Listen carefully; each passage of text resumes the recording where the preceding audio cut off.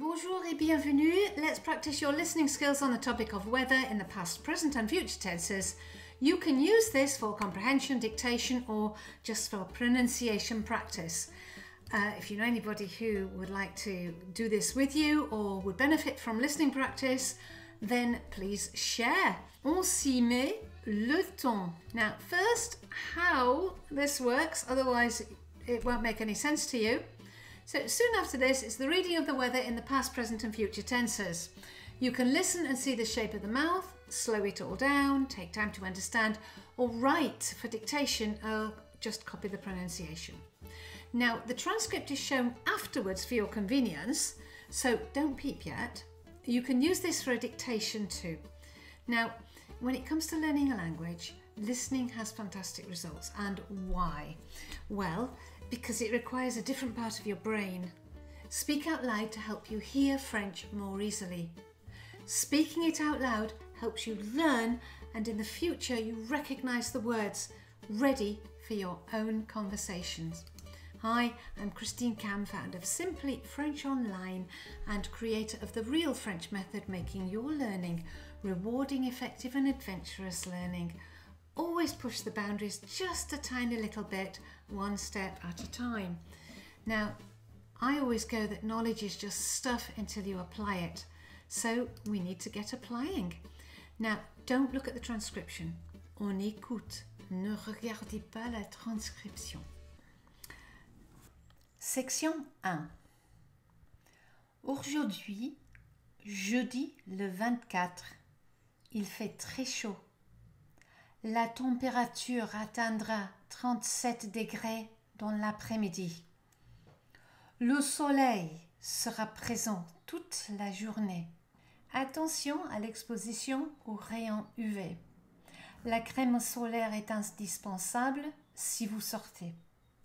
Cependant, pendant la nuit, il y aura des rafales de vent atteignant jusqu'à 100 km à l'heure. So now we can go to the next slide and see what you've written or if you've been pronouncing right. And now I'm going to read it really slowly to help you pronounce as well. Aujourd'hui, jeudi le 24, il fait très chaud. La température atteindra 37 degrés dans l'après-midi. Le soleil sera présent toute la journée. Attention à l'exposition aux rayons UV. La crème solaire est indispensable si vous sortez. Cependant, pendant la nuit, il y aura des rafales de vent atteignant jusqu'à 100 km à l'heure. Now we're going to go on to the next section, section 2. Don't forget, if you wanted to go back to anything, just rewind. On écoute, ne regardez pas la transcription. Ce matin, la pluie tombera de manière continue. Attention aux inondations en plaine et dans les vallées.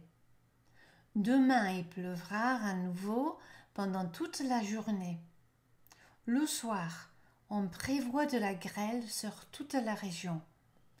Attention, car les grelons pourraient bien atteindre un diamètre de plus de 10 cm. And now you can look at the main one. Go ahead. Now I'm going to read it slowly for those of you who want to use this for pronunciation. If you've got what you want, you can skip to the next bit. Section 2. Ce matin, la pluie tombera de manière continue. Attention aux inondations en plaine et dans les vallées. Demain, il pleuvra à nouveau pendant toute la journée. Le soir, on prévoit de la grêle sur toute la région. Attention, car les grelons pourraient bien atteindre un diamètre de plus de 10 cm. And if you're ready now, you can either rewind and practice listening and just understanding, try just listening and not looking at anything, or just reading along as you wish. We're now going to section 3. Section 3. La journée d'hier a été marqué par le grand bleu sur l'ensemble de la France. Le soir, les nuages ont recouvert le ciel et la neige est tombée en abondance. La température est descendue vers moins 10.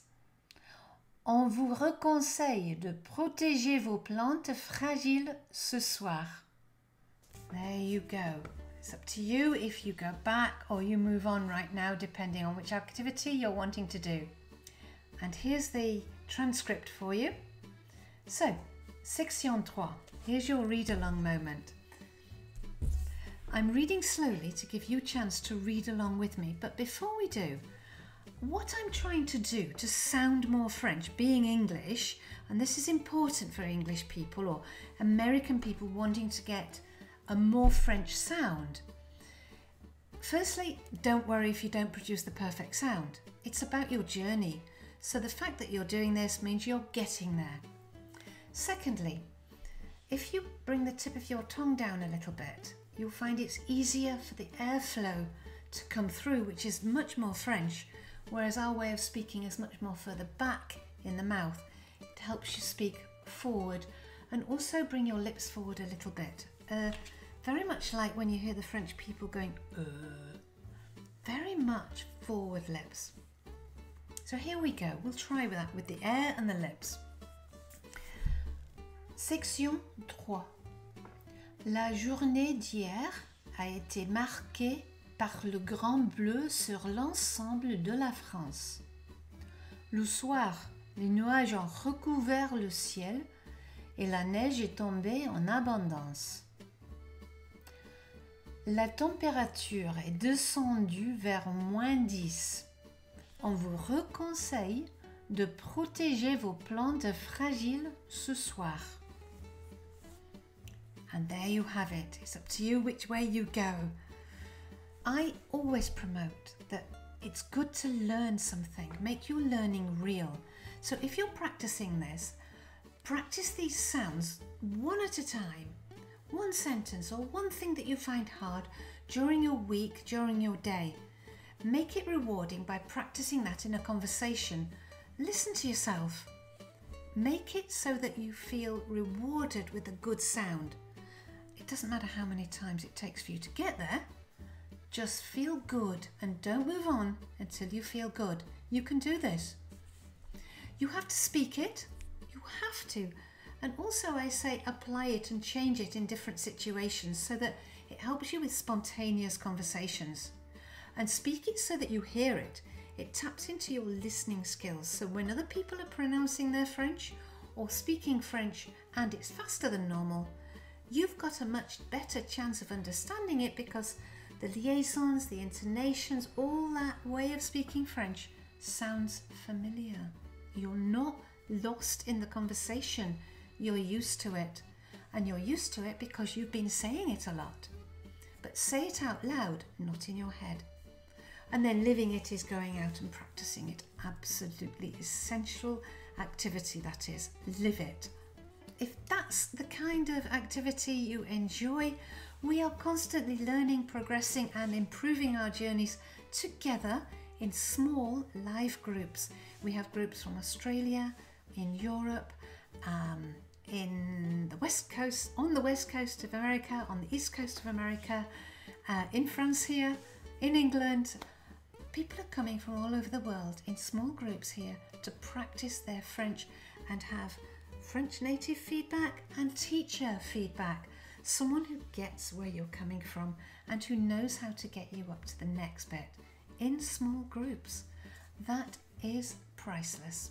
So if you want to join us, go to simplyfrenchonline.com forward slash café. Merci beaucoup et à la prochaine.